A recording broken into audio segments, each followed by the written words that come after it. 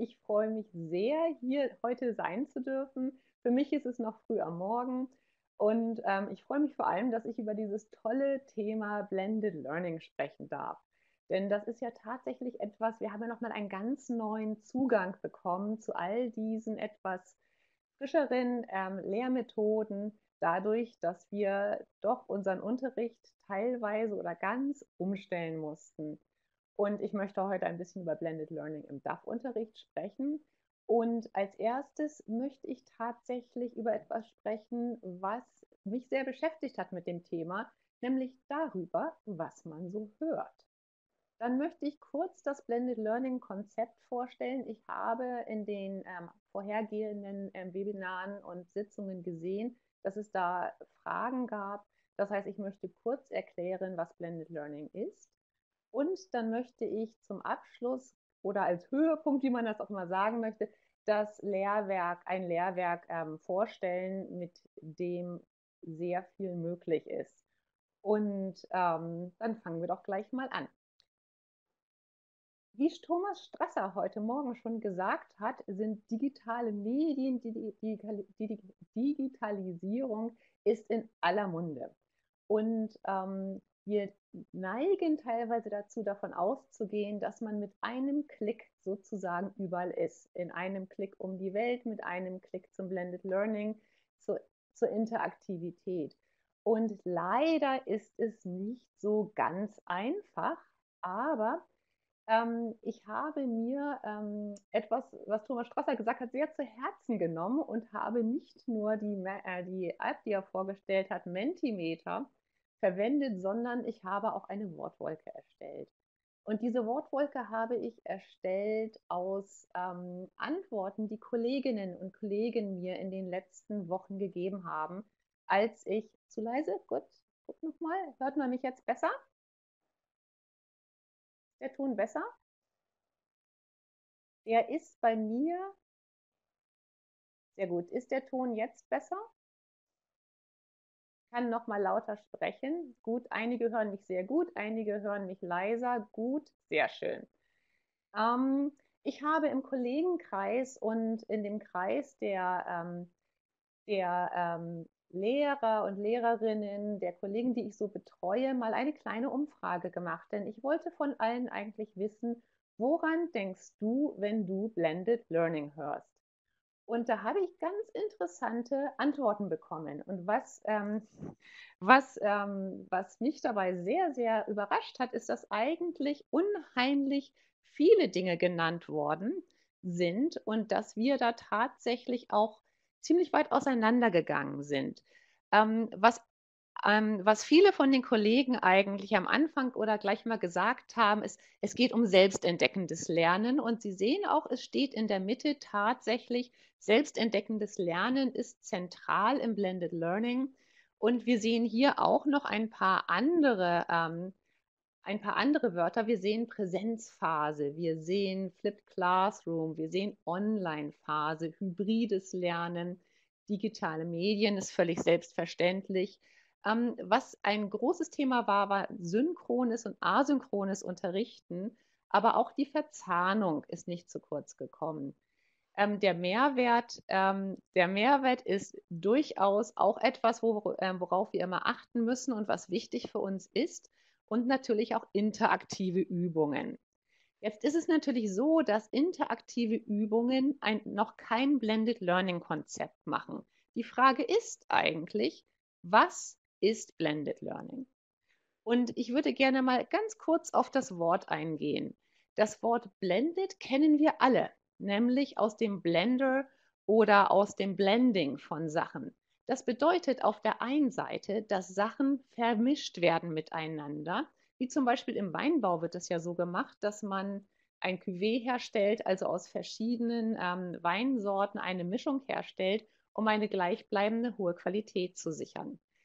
Ähm, aber Blended bedeutet auch, bedeutet auch noch ein bisschen was anderes. Es bedeutet nämlich zu etwas überblenden, etwas verbinden. Das heißt, es ist nicht nur die, äh, es ist nicht nur die Vermischung, es ist auch tatsächlich die Verknüpfung.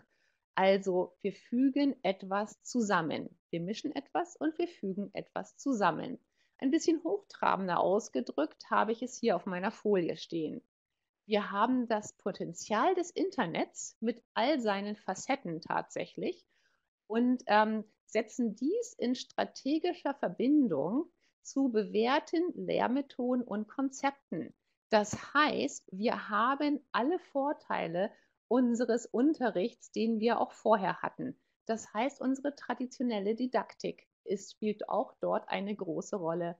Denn es ist tatsächlich so, ähm, die Didaktik ist wichtig und die Didaktik ist zentral in all diesen Sachen und die Didaktik steht auch im Blended Learning durchaus im Vordergrund.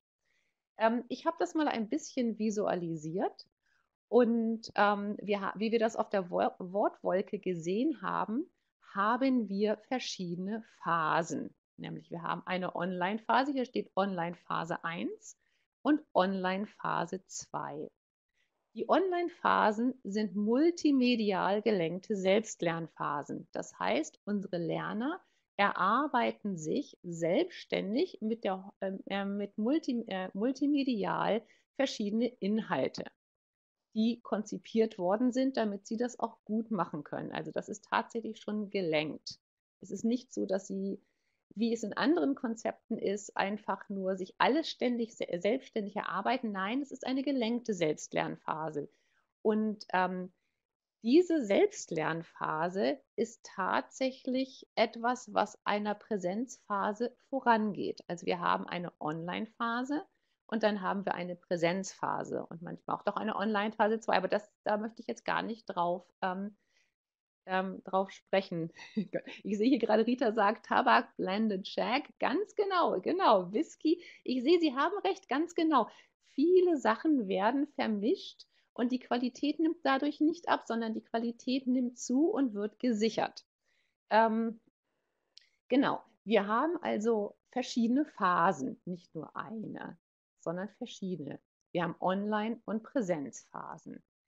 Und diese Online- und Präsenzphasen, Sie sehen das hier, ich habe das hier noch auseinander, die existieren nicht isoliert voneinander. Und da kommt tatsächlich auch unsere, unser Blending, unser Blended ins Spiel. Die existieren miteinander. Und sie existieren nicht nur miteinander, sondern es ist sehr, sehr, sehr wichtig, dass diese Übergänge zwischen diesen Phasen, wir schauen uns das mal genau an, dass diese Übergänge schön miteinander verzahnt sind. Wenn ich jetzt nochmal zurückgehe, sehen wir hier, wir haben unsere Phasen, die nacheinander abfolgen, aber hier sind sie, sind sie schon äh, stärker zusammen und wenn wir genau reingucken, dann ist es gar nicht so, dass es tatsächlich ein ruppiger Übergang ist oder wir haben etwas in der einen Phase erarbeitet und in der nächsten Phase geht es dann gleich weiter. Was wir machen ist, wir lassen eine Verzahnung ähm, stattfinden. Das heißt, wir nehmen Materialien und wir nehmen Dinge, die sich unsere Lerner in der Online-Phase erarbeitet haben und verknüpfen und verbinden sie mit der Präsenzphase. Das wird häufig auch in Gruppenarbeiten gemacht. Also unsere Lerner haben etwas erarbeitet in den Online-Phasen und dieses Wissen, das sie sich erarbeitet haben, tragen wir in die Präsenzphase üben, über und machen etwas damit und führen es weiter. Und ähm, das findet oft in Gruppenarbeit statt und das ist auch sehr, sehr befruchtend und das macht vor allem Spaß, weil auch alle zeigen können, was sie gelernt haben, aber sie können sich auch gegenseitig unterstützen. Sie können sozusagen als Einheit miteinander zusammen dieses ähm, Wissen anwenden und weiter ausbauen.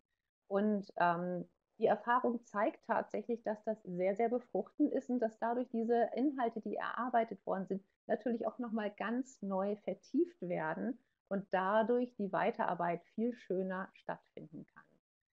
Ähm, ich möchte das jetzt gerne an einem Lehrwerk zeigen. Wir haben hier das, ein neues Lehrwerk, das heißt das Leben. Sie haben davon ja schon teilweise gehört heute. Und das kommt aus der Erfolgswirtschaft, äh, Erfolgs, na, aus, der, aus der Erfolgswerkstatt von Hermann Funk, Christina Kuhn, Laura Nielsen und Rita von Eggeling. Ähm, der A1-Band ist bereits erschienen, der A2-Band steht auch in den Startlöchern und das Ganze wird dann bis B1 weitergeführt. Es ist ein Grundstufenlehrwerk, ein sehr junges, ein sehr frisches Grundstufenlehrwerk, das sich an Erwachsene ohne Vorkenntnisse im In- und Ausland in Deutschland richtet. Ähm, es kann verschiedenartig angewendet werden und ist natürlich auch für Institutionen sehr interessant. Die Themen, mit denen wir uns in diesem ähm, ups, ähm, die Themen, mit denen, die, mit denen wir uns in ähm, Entschuldigung, ähm, die Themen, mit denen wir uns beschäftigen, sind tatsächlich Alltagsthemen. Also sie kommen aus der Alltagswelt unserer Lerner. Wir tun es schlechter, das tut mir leid. Und ähm, man kann die Lernfortschritte spürbar spüren und messen. Und das Schöne ist, es ist als Magazin aufgemacht.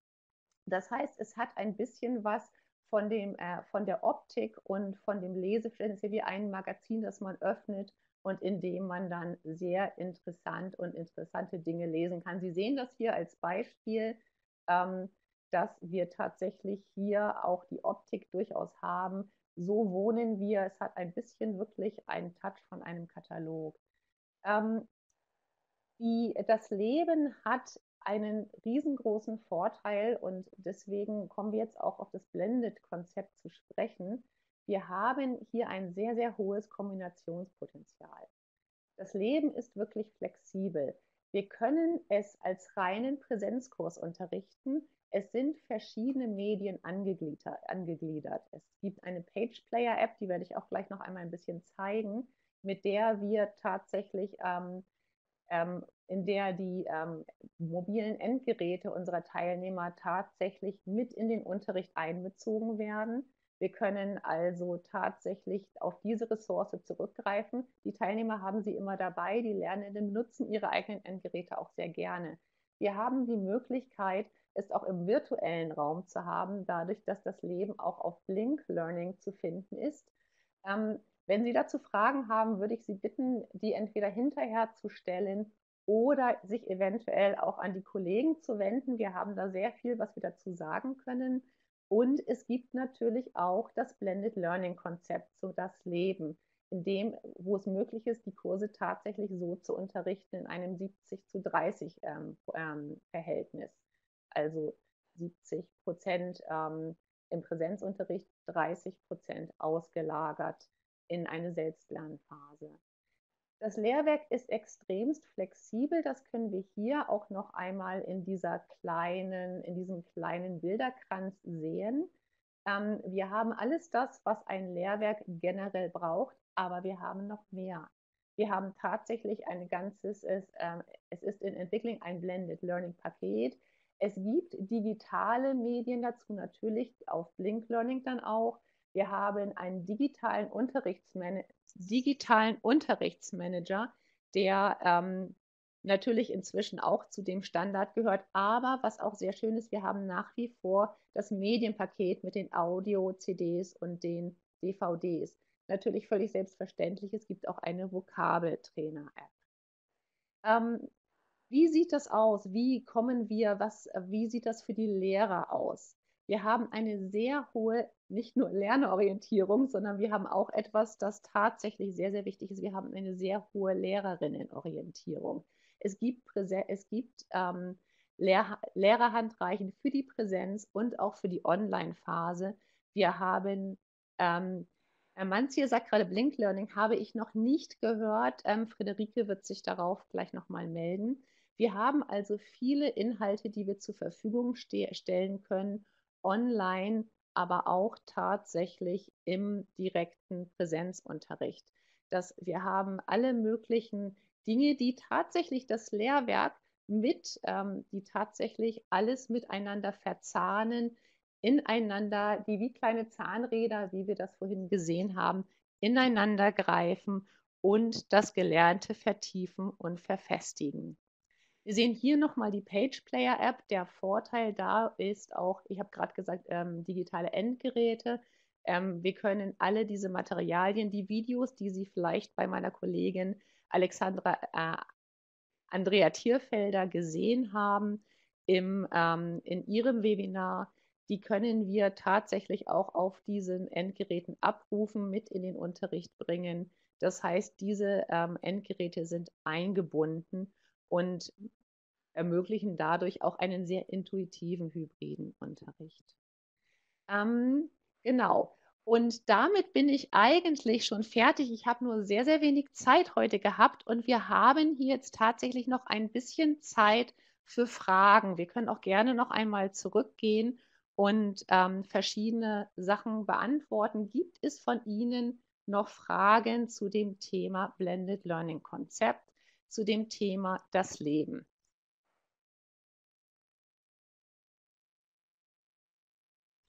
Nochmal die vorherige Seite bitte mal. Sehr gerne, ja. Diese hier? Mhm. Sehr schön. Nadja, Blink Learning. Ja, da würde ich dann Friederike tatsächlich nochmal ähm, bitten, etwas zu sagen. Ähm, wir haben hier tatsächlich unsere ähm, Präsenzphasen und Online-Phasen, eine kleine Übersicht, wie das dann tatsächlich so aussieht, wie die Einheiten aufgeteilt sind. Und das ist natürlich nach Wochen gegliedert. Friederike. Ja, ähm, Einige hatten gefragt nach Blink Learning. Ich, es ähm, ich versuche es ganz kurz anzureißen. Blink Learning ist eine Learning Management System Plattform, ähm, also auch, wo man äh, Bücher von verschiedenen Verlagen zur Verfügung hat. Und natürlich ist das Leben jetzt dort auch erhältlich. Und äh, dort gibt es auch nochmal die Möglichkeit, digital mit dem Lehrwerk zu arbeiten. Ähm, Sie können, haben dort auch eine Klassenraumauswertung. Sie können ähm, sich auch wieder Notizen machen im Buch. Also es gibt, das ist nochmal ein weiteres System, was wir jetzt anbieten, zu, auch äh, in, zuzüglich unseren digitalen Produkten, das Sie nutzen können. Sie können mich auch gerne nochmal diesbezüglich anschreiben. Ich schreibe auch nochmal meine E-Mail-Adresse in den Chat und dann kann ich Ihnen das auch noch ein bisschen ausführlicher erklären, beziehungsweise stelle Ihnen auch gerne mal einen dreimonatigen Lehrer-Freicode zur Verfügung, dass Sie sich die Plattform auch mal anschauen können. Sehr schön. Vielen Dank, Friederike. Ja, wir hatten nur sehr wenig Zeit. Es war tatsächlich nur ein Blitzlicht. Sie können uns jederzeit gerne anschreiben. Wir werden auch tatsächlich noch weitere wesentlich ausführlichere Webinare und Sitzungen zu diesem Thema anbieten. Es war wirklich nur ein ganz kleines Einführungsblitzlicht. Ich hoffe, Sie konnten etwas mitnehmen und ähm, haben vielleicht einen ganz, ganz kleinen Eindruck davon bekommen, wie leicht und wie schön man eigentlich mit diesem Lehrwerk auf allen, ähm, auf allen unterschiedlichen flexiblen Arten unterrichten kann. Herzlichen Dank.